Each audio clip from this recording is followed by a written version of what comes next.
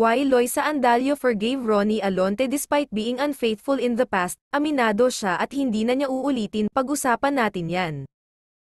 Pero bago ang lahat, shoutout muna kay Jason Soriano salamat sa laging panonood Lods, at sana manatiling kang gwapo sa paningin niya lang. Ibinunyag ni Loisa Andalio na pinatawad niya ang kanyang nobyo, ang aktor na si Ronnie Alonte, sa kabila ng pagiging taksil noon, dahil siya ang nagmamay-ari sa kanyang mga pagkakamali at handang ayusin ang kanilang relasyon. Ipinunto ni Andalio na ang pagpapatawad kay Alonte anuman ang kanyang pagtataksil ay ang kanyang pagpipilian sa isang panayam sa push na na-upload sa opisyal nitong channel sa YouTube noong biyernes ikalabing walo ng Agosto, na nagsasabi na nagawa niyang sabihin ang kanyang mga nakaraang pagkakamali.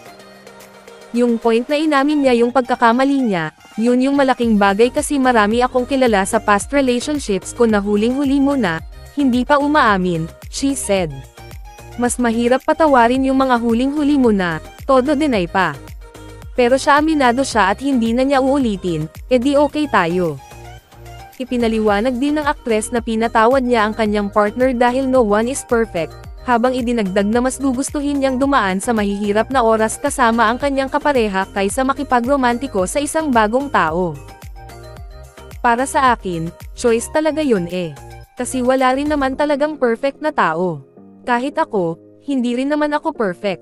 Sabihin na nating magkakaroon din ako ng bagong relationship, for sure hindi rin naman magiging perfect yun eh.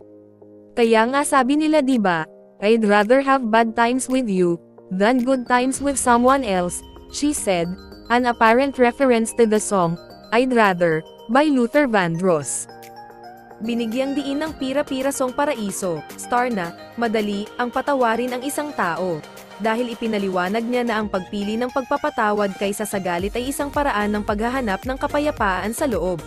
Sa totoo lang, hindi lang talaga mahirap magpatawad, talagang tao din kasi yung mga nagpapakomplika ng mga ganyan, yung forgiveness, para sa atin din naman yun, kapag pinatawad natin yung tao.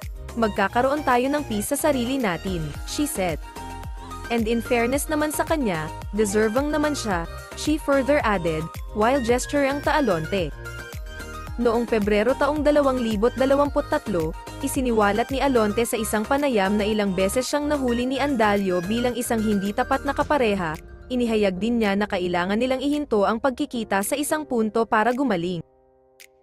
Samantala, idineklara ng aktres na nakikita niya ang kanyang Pira-Pira Song Paraiso co-star bilang The One, na ipinaliwanag na hindi siya mananatili sa kanya kung hindi niya nakikita ang kanilang relasyon bilang karapat-dapat na panatilihin. At dyan na po nagtatapos guys maraming salamat sa panonood.